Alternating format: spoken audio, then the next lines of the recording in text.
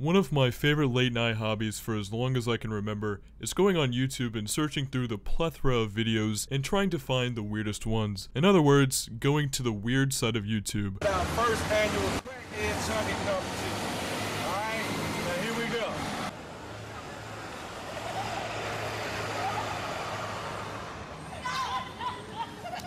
What I typically do to get to the weird side of YouTube is put in a combination of random words into the search bar and then go as far back in the pages as you can.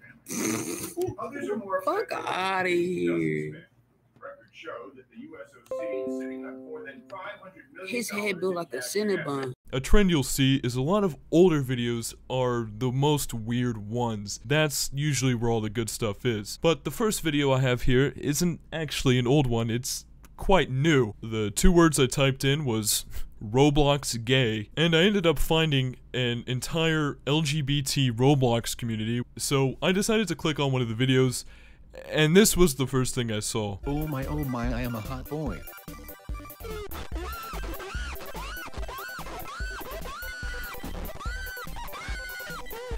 I can't make this shit up. Remember all of the song parodies and whatnot? Some of them good, and a majority of them bad. This is an example of one of the bad ones. I'd come across Alvin and the Chipmunk remixes. The thing about these is, it's not actually Alvin and the Chipmunks, no. That would require effort to make them sound like that. Majority of these remixes, they will just take a song and make it high-pitched and call it Alvin and the Chipmunks. But seriously, it's like there's an Alvin and the Chipmunk remix for every single song ever created. Usher, Ginuwine, Kid Rock, Jake Paul.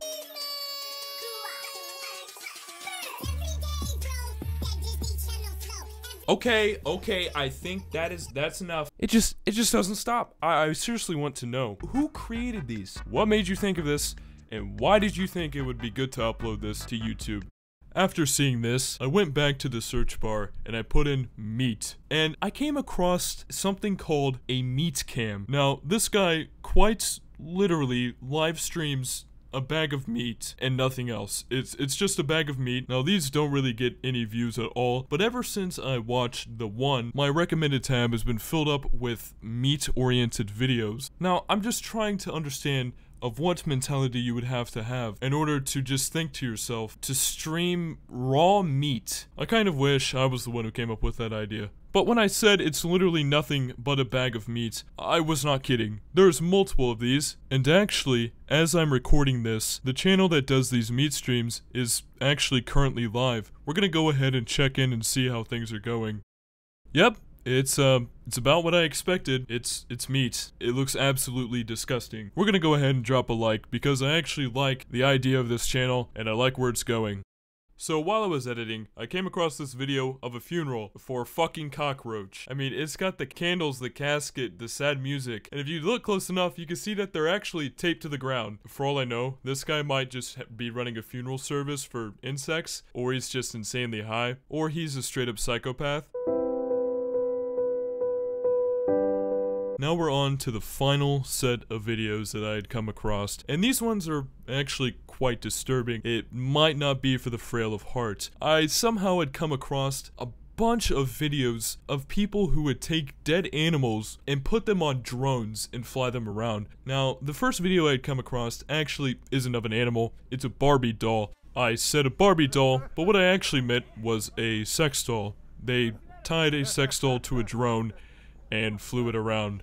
The next video I'd come across is nothing short of absolute madness. I don't fully know the backstory of this video, but from what I read, this man's cat had died, so he decided to honor the cat, he made it into a drone, and I'm not fucking kidding.